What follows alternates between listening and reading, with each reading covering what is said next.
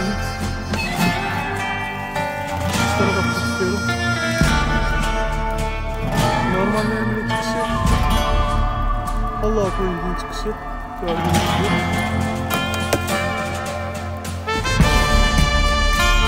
gibi. Dört bir parçaladı.